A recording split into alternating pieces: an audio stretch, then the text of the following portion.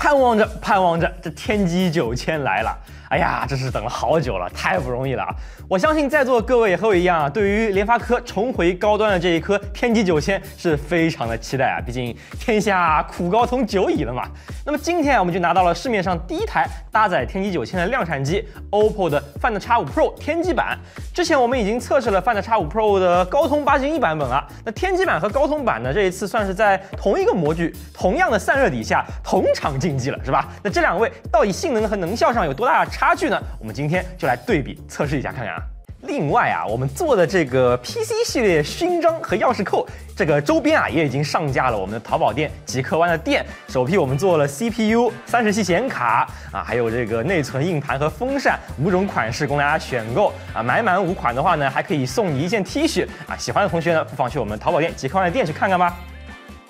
天玑九千的规格分析啊，我们在之前的工程机视频里已经给大家做过了。那这里我们再来回顾一下，它的这个 CPU 部分呢，和骁龙八 Gen 一一样，采用了 ARM 新的 Cortex X2、A710 和 A510 的架构组合啊，但是联发科的频率定的更高，缓存更大，制造工艺呢也要更先进一点。这个 CPU 部分可以说是优势不小了啊。GPU 呢也是用上了最新的 ARM G710 MC10。高通在骁龙八千一上的 GPU 提升很大，所以天玑的 GPU 部分我觉得应该是很难打得过的啊。但是这个新的 GPU 规格倒也还算不错。既然之前我们已经分析过了，那我们就废话不多说，直接来跑一下性能看看好了。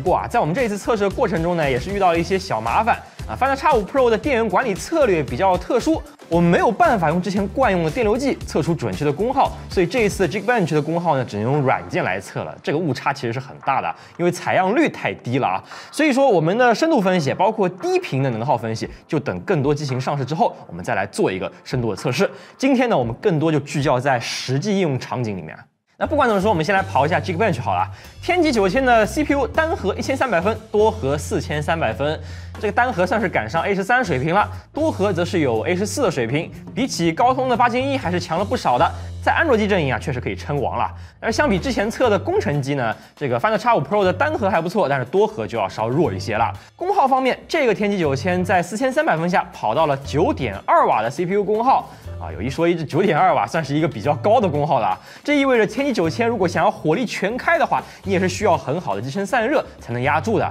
这并不是什么特别节能的 CPU。但是另一方面，这个功耗仍然要远优于骁龙八千一，而且联发科确实跑出了很强的性能。不过我们这里跑的只是极限的跑分测试，我们更想测的呢，其实是日常使用中更多用到的这个低频点的测试。那这个就放在以后深度分析里给大家做了。再来看一下 GPU，这一颗天玑九千的 GPU 跑 Aztec Ruins 的 1440P OpenGL 可以跑到四十二帧，这颗 GPU 其实都没有比骁龙八 Gen 一差多少啊，应该说还是挺强的啊。更强的是它的功耗，在 Find X5 Pro 上，我们玻璃屏幕跑出了七点六瓦的功耗啊，这个 GPU 功耗比起这两年翻车的安卓旗舰都要来的更优了，这能耗比似乎还是挺不错的呀。不过啊，Find X5 Pro 这台机器的 GPU 呢，相对来说在降频策略上就比较保守了。我们这次测了 3DMark Wild Life Extreme 的压力测试，峰值跑得很好，两千四百多分，也是接近八 Gen 一的峰值水平，但是稳定度就只有百分之六十四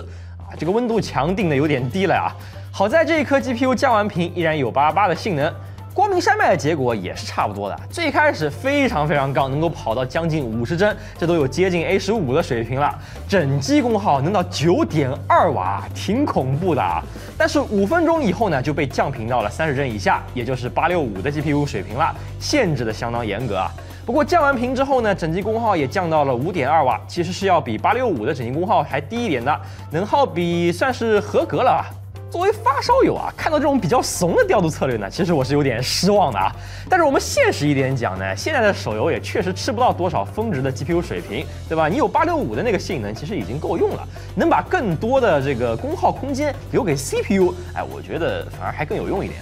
理论测试跑下来呢，这个天玑九千还是基本符合我们之前在工程机上测的结果的，尤其是 CPU 的能效方面，相比八针一有非常大的优势。那么这种优势能不能转化到游戏当中呢？是时候就来跑一下原神了。现在原神已经适配了天玑九千平台了，所以说数毛的结果分辨率是真七二零 P 啊，比起之前的工程机要高一些了。先来看一下我们的基准测试，也就是高画质二十五度 WiFi 下的表现。哎，你可以看到啊，同样是 Find X5 Pro，用着同样的散热规格，这天玑版的帧率啊，要明显的优于高通版本。前十分钟天玑版基本就是接近六十帧在跑的，相当的流畅啊。那这一段满帧的整机功耗是七瓦，相比之下啊，八 Gen 一要想在七二零 P 分辨率下跑原神满帧，恐怕得吃掉八瓦甚至九瓦的功耗了。我们之前测的 Realme GT 2 Pro 就是在八瓦的功耗下跑到了七二零 P 五十五帧的帧率。不过七瓦对于非游戏手机来说依然不是一个小数目啊，这功耗还是有点高的。所以十多分钟之后呢，还是出现了降频，最终三十分钟我们。这台 Find X5 Pro 稳定在四十五帧左右，全程平均五十一点二帧。降完频的天玑九千原神整机功耗也降到了五点四瓦。相比之下，八 Gen 一版本的 Find X5 Pro 降完频之后也是差不多的功耗，但是帧数只剩下三十八帧了，性能上确实是要更拉垮一点啊。温度表现上面呢，这天玑版的机身最高温度也是四十四度出头，并不算很高，但是发热位置是在手指握持的地方，所以说呢，这个高负荷游戏还是能够感觉到发热烫手的。既然七瓦的功耗对于这个机身来说依然有点吃不消，依然需要消一消火气，那么降点画质是不是可以跑得更好呢？哎，还真的可以啊！我们降到中特效之后呢，果然原神的表现就好了很多了。哪怕跑完三十分钟，依然可以维持在五十帧以上的帧率，全程平均五十六帧，整机功耗六瓦，这个游戏体验明显就要更好了。哎，所以说天玑九千的机器呢，平时也是建议开中画质来跑，基本可以维持一个比较流畅的帧率。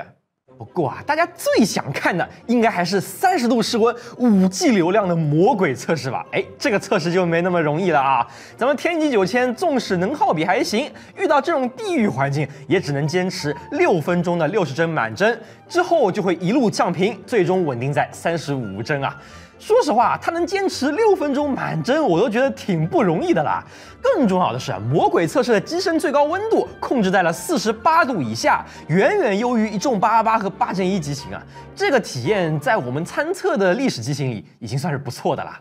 除了原神之外，我们也测了负载低一些的王者荣耀。那由于王者荣耀依然没有支持 iPhone 的高刷，所以我们这个九十帧的测试就只限安卓了啊。那最近的版本似乎有更新啊，带来了一些额外的画质选项。那我们就所有机型重测了一遍，把画质全部开到最高跑九十帧，看一下能耗表现怎么样啊。果然不出意外，天玑版跑王者荣耀的整机功耗依然相比高通版更有优势，基本上和麒麟九千的机械是一个功耗水平。那这个表现也是要优于八七零机型的，应该说还算不错啊。相比之下，而八剑一版本甚至都没坚持住九十帧啊，这个四点六瓦还是在掉到八十帧帧率的情况下跑出来的，这差距实在有点大。果然没有对比就没有伤害啊，这对比下来，这天玑九千版本相比八剑一版本简直不是一个时代的东西啊。